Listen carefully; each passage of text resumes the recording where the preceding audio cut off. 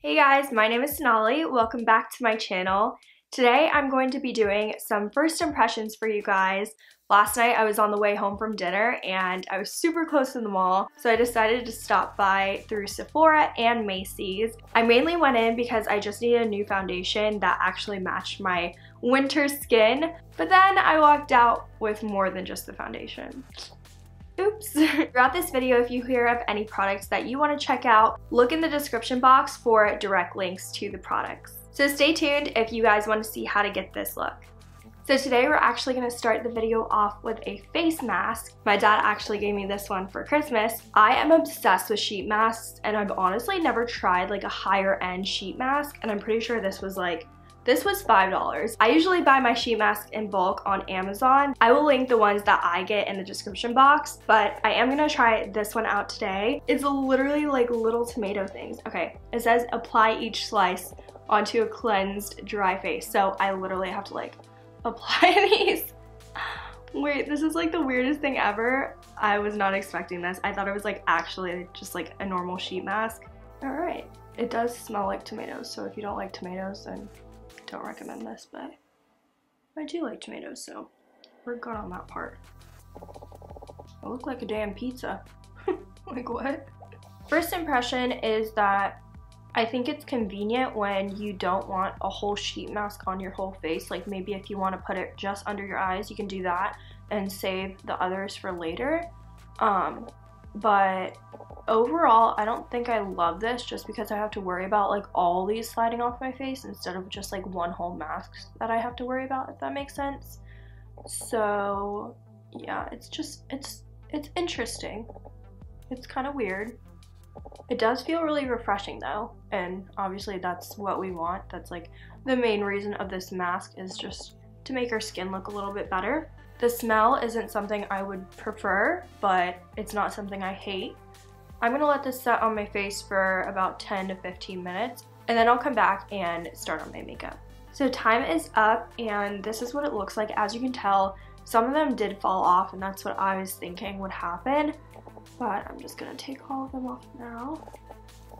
My skin feels so much better, like it feels really, really soft. So I like the way it feels. I just wish it was just like a solid sheet mask because this was just a little bit inconvenient. But it was definitely fun to try and I was Snapchatting all my friends and they were just like, do you have pepperonis on your face? Like, is that a new trend? so I just did my brows to get that out of the way. I used the ABH Brow Wiz and I concealed them with the Tarte Shape Tape. And now we're gonna move on to foundation. Every time I have to get a new foundation, whether it's because my other one ran out or because I'm very, very pale, um, I like to try out new foundations. So I just got the NARS Sheer Glow Foundation. I've heard so many good things about this foundation. I was using the Fenty foundation and there's really nothing wrong with this. As you can see, this one is super, super dark compared to this and I'm very pale because it is winter time. So I needed a different color because I just looked a little too orange in this. So my first impression is that I did think that it was gonna have a pump because in the store, obviously, they had a pump. Um, and I'm not sure if like they were selling it at Sephora, like the little pumps, because I totally would have bought it. I would have definitely rather had a pump than this. But oh well. I just wet my beauty blender, so let's see what it looks like. The foundation when it's pouring out is like very liquidy compared to like a lot of other foundations that I have tried out in the past. And honestly, I wonder how long this foundation is gonna last me because it looks very, very small. Like it has, it has one fluid ounce in this. So I don't know. And it was, it was not that cheap. So hopefully it does last me a while, at least till I have to get another foundation for my summer color. So when it's applying, I feel like I'm just like patting my beauty blender in. Like I feel like no foundations going on my face. So that's definitely great if you don't like the feeling of foundation, which I don't love. But I do like that full coverage look and I feel like it's giving it to me. But I definitely need to look into getting that pump because this is just not gonna be pretty. I'm just gonna blend that down my jawline. So I feel like it looks pretty good on camera and it does have that dewy finish which I really like. I didn't put primer on my face today because the primer I use is like an oil one and I wanted to see what it looked like without like an oil under it. And honestly, without it, it does have like the effect that the oil gives, like this dewy finish. But I am noticing that it kind of looks a little bit gray like over here, in person at least. Um, I don't know if it's gonna like oxidize and like warm up on my skin. Hopefully it does. So I applied concealer under my eyes. Again, I went in with the Tarte Shape Tape. And now we're gonna go in and bronze up our face. Honestly, I don't really know if this is supposed to be used for like actually contouring, but it's actually like a really nice color. I was swatching on my hand in Sephora and I was thinking I could do like some really dramatic contour with this. It honestly might even be too dark, but you know, we're just gonna try it out because it's a first impressions video and that's what we are doing today. So again, this color is in Sunset and I don't really know how to start. I just like kind of put some on my hand and I just like rubbed it off with the beauty blender and I think I'm just gonna apply it like that because I'm scared to just put it straight on my face because these are very very liquidy so you have to be really careful with it.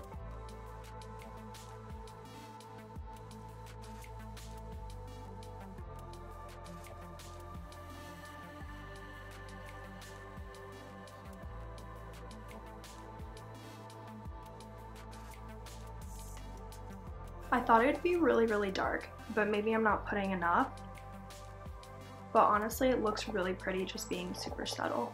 So let's compare the sides. So this one already has some on. I'm still blending, but this side doesn't.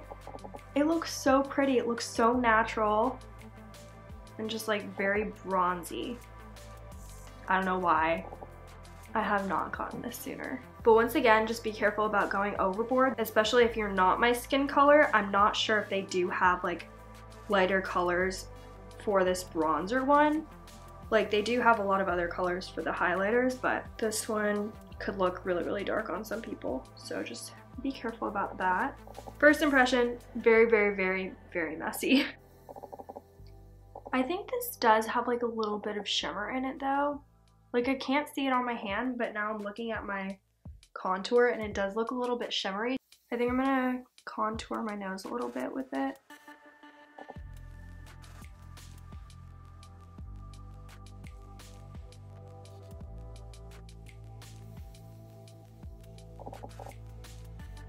I still can't tell if it's like super shimmery, but I really like it for the nose contour. Like, I feel like that was really easy to get a snatched nose, so highly recommend. Oh my god, I literally spilled it all over my floor. This is a disaster. So I just looked at my hand in the light and it is definitely shimmery. So I'm gonna be a shimmer block today and I didn't know that. So if this makeup tutorial is a flop, then I'm sorry. I tried. First impression, right? First impressions. So the next new product I have to try out are the ABH Single Shadows. This one is in caramel and it's just like a light tan brown. And this one is in hot chocolate and it's just like a darker brown. I wanted to get these to try out the formula and I also thought that these two would just be like a really great pairing for an everyday look. So first I'm going to go in with caramel, put it all over my lid and buff it out into my crease.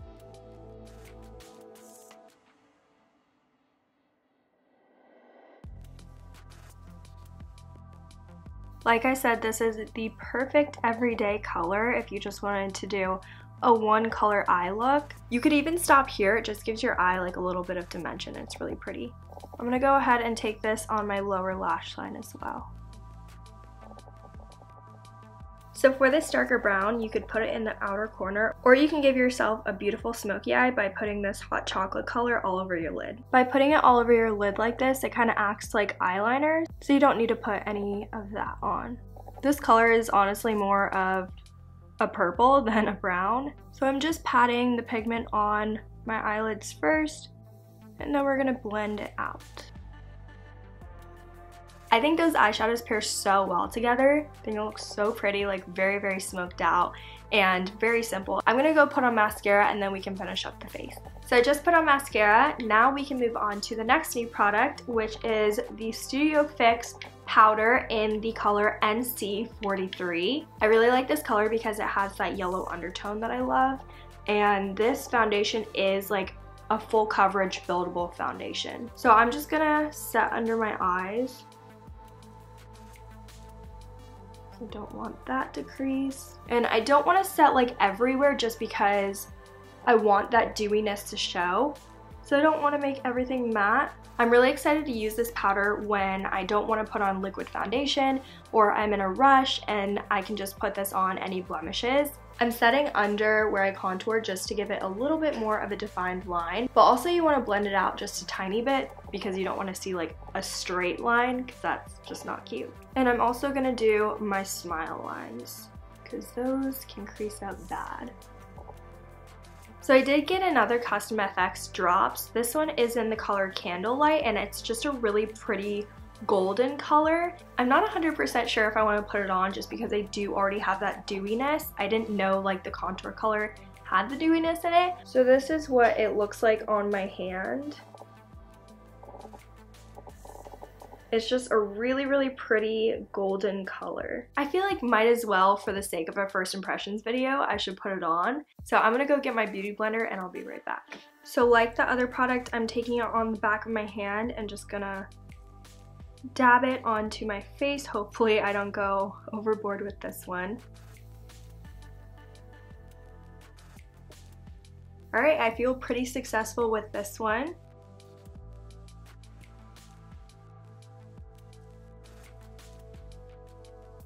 Okay guys, so the last step is to set my face and this is actually my first time trying this Prep and Prime Fix Plus from MAC. So let's see what all the rave is about. Oh, okay. Not sure how much you're supposed to spray, but I go pretty heavy on the spritzes. I didn't think it was gonna smell, but it smells pretty good. So for lips, I'm gonna be using Cork by Dose of Colors. This is not a first impression, but I know every time I don't include my lip, everyone asks me. Then on top of that, I'm going to be adding the Fenty lip gloss, and I just got this from my sister for Christmas, so I'm so excited about it. It was actually on my Christmas wish list. I'm really into that glossy look. I don't know why, but kind of over matte right now, so just gonna be putting that in the middle. So this is the complete look. I hope you guys enjoyed this video. If you're interested in checking out any product I've mentioned in this video, then check the description box for direct links. Also, let me know if you guys have any products that you'd like me to try out on my channel. So I will see you guys in my next video. Bye guys!